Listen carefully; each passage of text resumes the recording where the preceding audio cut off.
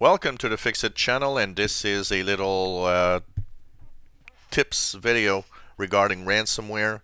If you ever have ransomware that encrypts your files or if a friend of yours might have been bitten by ransomware, there's a great, great uh, project called No More Ransom and it's available here at nomoreransom.org as you see here at the top. No More Ransom was created to uh, kind of uh, help people not pay the bad guys because your files have been encrypted. The idea behind this is to attack the uh, bad guys where it hurts the most. That's uh, helping you encrypt the file so you don't have to pay. Because if no money gets to the bad guys, well, they'll just stop making ransomware. So here is this is the idea behind all of this.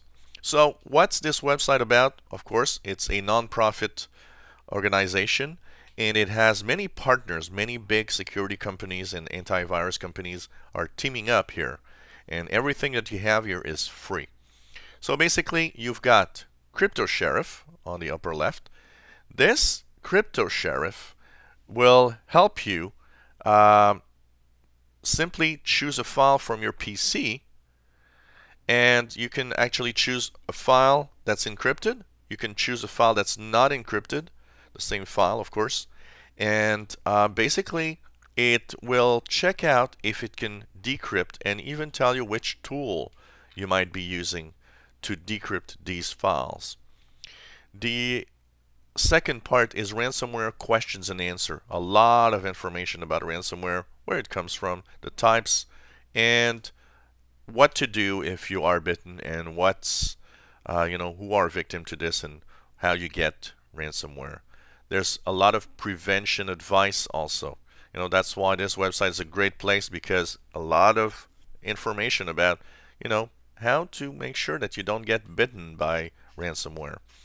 And um, then you've got the decryption tools. And this is getting better and better all the time. So now you can actually click the different decryption tools that you have here. And of course, you need to know um, a little bit more about what type of um, you know uh, encryption it is about. So each of the tools you get here are free and uh, they can help you. And it's a great idea to maybe put them on a USB thumb drive, but very important, if you put them on a USB thumb drive, uh, some USB thumb drives have a little switch that you can actually activate that prevents the thumb drive from being written over. That's very important because if you plug a USB thumb drive in a computer that has ransomware, the ransomware will want to try to encrypt the USB thumb drive also. So very important. Even better yet, put it on a CD and uh, that will really prevent anything because the CD cannot be encrypted after it's written and closed. So, you know, you got to be careful in the way that you bring in the tools. Be careful, of course, if you use a USB thumb drive, not to plug it back on your PC and then infect your PC with ransomware that could be possible. Make sure that you, uh, you know, totally reformat the drive before doing anything else with it. And um, you've got also uh, the report a crime, where you can actually uh, report to different law enforcement. Uh, you've got, of course, the partners and about the project.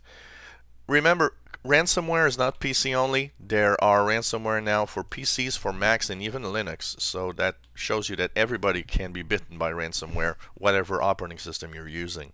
So it's very important to know that. So this is a great place to go. And um, you know what? If you have some friends that have been bitten by ransomware, well, maybe uh, you can uh, help them by going here and seeing if you can use the tool and maybe decrypt their files.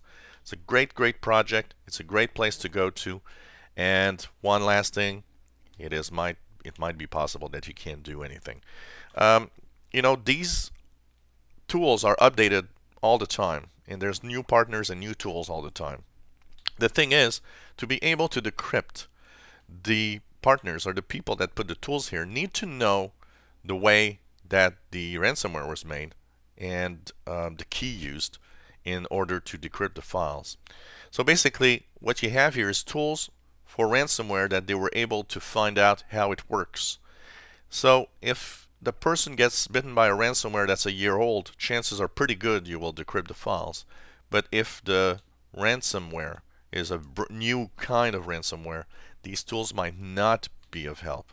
And one last thing, if you really want to make it sure that ransomware will never never be a big problem for you, make sure you have a backup of everything.